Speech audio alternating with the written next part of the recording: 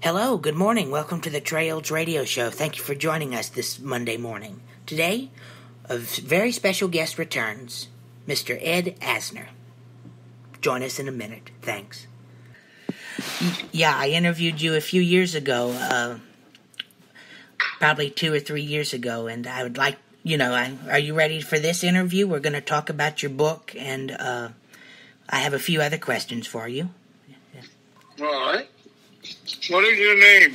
My name is Trey Olds. Trey Olds? Uh huh. G R E Y? Mm hmm. Yeah, T R E Y, and the last name is O L D S, Olds. An infamous name if I ever heard one. Yeah, m- many people tell me that's a very uh, distinctive name, a show business name. yeah. Okay, well, my first question is let's talk about your book. Uh, can you tell me and my listeners uh, about your book? It's called uh, ta- uh, Stories of. Uh, a, let's see. I'm trying to find it because I have the little copy here where I can. Son of a junkman. Son of a junk man. My life from the bottoms of uh, Kansas, Kansas City. Kansas City, to the bright lights of Hollywood. Son of Yeah. a junk man, my life. Sorry, sorry about that. Uh, I got. You nailed it, kid. You nailed it. okay, let's talk about that. It's your autobiography, your memoir, and it's basically uh, the story of your life from uh, from Kansas City to your start as the great uh, actor we know you today. Thank you.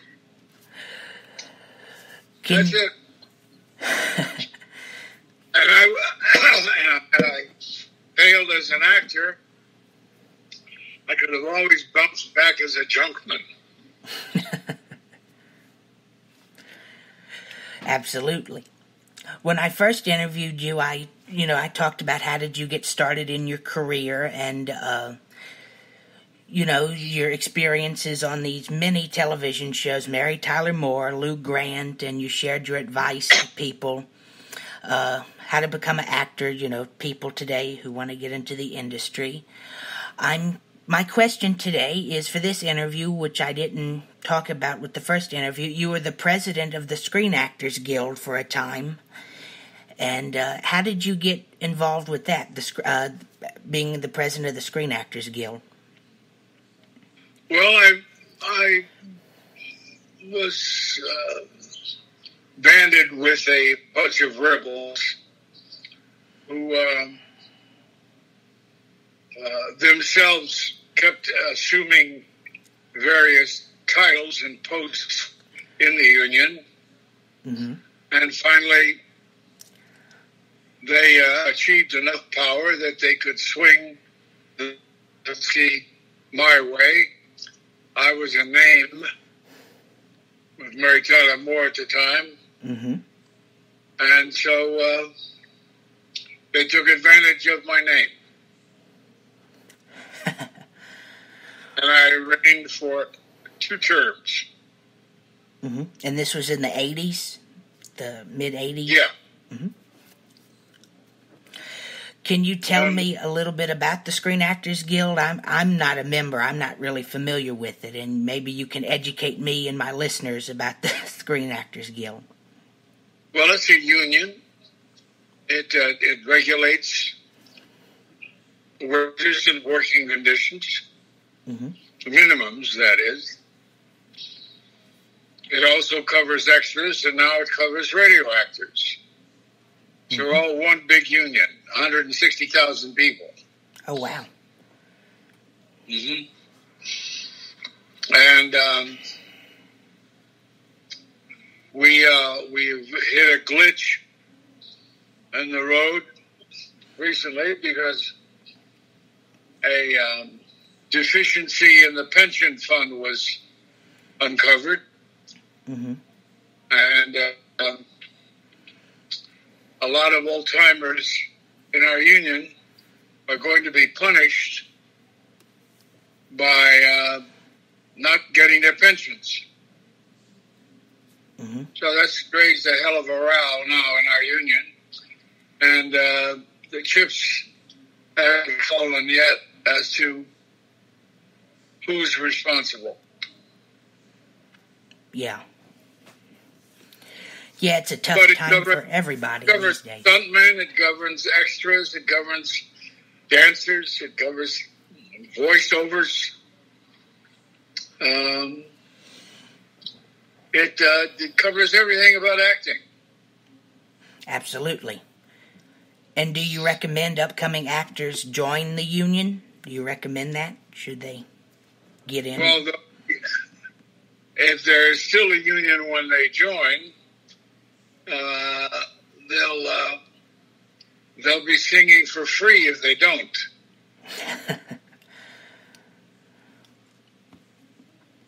yeah. And that's good with I've interviewed a few other actors with SAG AFTRA and actor actors equity and uh, yeah, they tell me all about the uh, benefits and all the workings of it and it's a good um, union to be in if you want to have a successful and stable career as an actor or Certainly, it has been up till now. Yeah. Yeah, it's a tough uh, round for everybody these days. We're in a difficult time. I mean, even even President Trump pays his dues. mm-hmm Yeah. But this too shall pass. Hopefully, you know, uh, this will be better soon. All of this. Charlie, Okay, my next question, we're going to go back to the book. Where can people buy your book? Are you on Amazon or do you have a website where people can buy your memoir, Sons of a Junk Man? at honor most bookstores. Okay. Yeah. Excuse me. I've got the old man's guitar. Mm-hmm.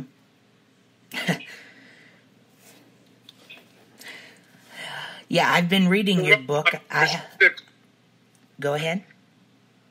What? I said I have a copy of your book. I've been reading it. It's a fascinating read so far. Oh, good. What I said was, what's the weather like in Mississippi? Oh, it's humid. Uh, you know, cool weather. Uh, humid, uh, windy. Uh, southern weather, as you can expect. You know. Yeah. Where are you from originally? I'm from the south. Uh, I'm from Louisiana. Oh, yeah, where? I'm from a little place called Buras, Louisiana. And uh, I don't know. yeah, well, that town, it was a small town. It got wiped out uh, mostly with Hurricane Katrina back in 2005. And then I moved to Baton Rouge, Louisiana. And then uh, uh, after that, I moved to this little town in Mississippi where I am at now. It's called Lucedale, Mississippi. hmm How do you like it there? Well, you wouldn't say you didn't like it because they turn you off. I like But it. it's You know, it's very. it's a live Say again. Yeah, it's a very laid back uh, town, you know, and uh, not necessarily a good town to be for an actor, you know, but I do. I'm a theater actor as well, so I do stuff at community theater, and uh, there's a the University of um, Mississippi Gulf Coast. Uh, um, community college, the community college nearby, and they have a theater department, and I work with them as an actor, and uh, I do my radio show, you know, interviewing actors and stuff. So my career is good so far, you know. Well, you belong to our union, don't you? hmm Yeah, I enjoy doing this. Uh, uh, I'm 20 years old, and I don't. I have high functioning autism. I think I mentioned that when I first interviewed you when we talked, and uh, I've been doing this since I was 13. So I started out very young.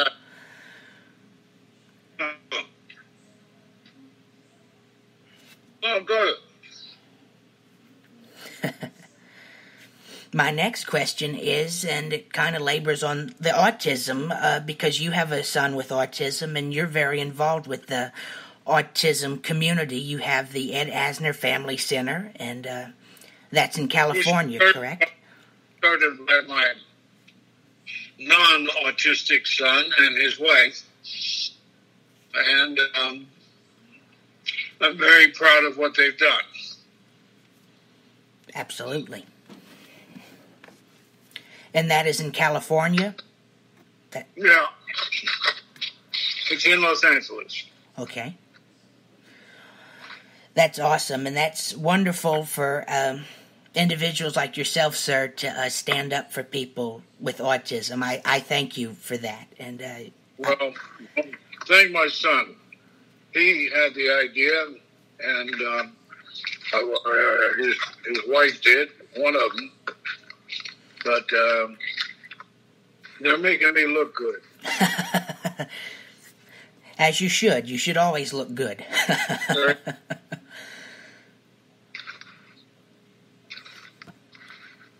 My next question is, and I know we talked about this uh, when I first interviewed you, but this is always an important question for me, and I like my viewers to uh, hear it. What is your advice to people who want to get into the industry, to be an actor, or just to be in the industry as a whole? Work with local acting groups, with with uh, community theater, with uh, small colleges. Mm-hmm. Learn how to get on stage get on stage and acquaint yourself with the moves and the the guidances of being on stage. That will uh, certainly prepare you for film and TV. And absolutely, and I've learned, you know, because uh, I started out when I was young, not to take rejection personally when you go to auditions. You know, if you don't get the part, you don't get the part. You know. Yeah. But it's it's been a good life, and I think it turns out nice people. Absolutely. Actors will never bore you. I've learned that. I've interviewed actors for six years now, and I, have never been bored with interviewing them. So. Mm-hmm. How many interviews do you do?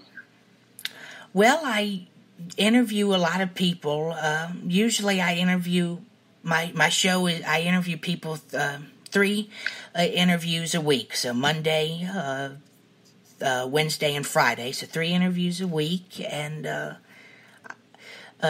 total interviews. I really don't. Probably over a hundred. It's I can't count them all, you know. But it's been a it's been a lot, and it's been fun. Who gave you your first break? My first interview was uh, with a gentleman uh, who I knew in person, face to face, personally, in Baton Rouge, Louisiana. He's a radio host and a voice actor. His name's Scott Innes, and he did he's done uh, the voice of Scooby Doo for many years in cartoons and movies. Mm. And uh, he kind of gave me my break. Yeah. And I, he was my first interview, and that kind of got me out there, uh, you know. And then I started interviewing other actors, and then radio shows wanted uh, started to interview me, and uh, so it was back and forth, and uh, that's how my name kind of got started. And uh, I don't have much of a big ego, you know. I don't let fame go to my head, you know. Well, I have to see how big your head is to see if you're telling the truth.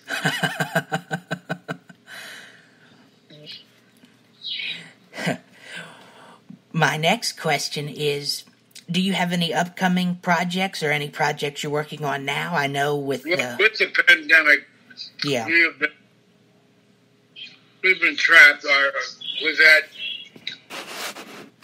performances canceled on us. And um, we've got two shows we do. One is called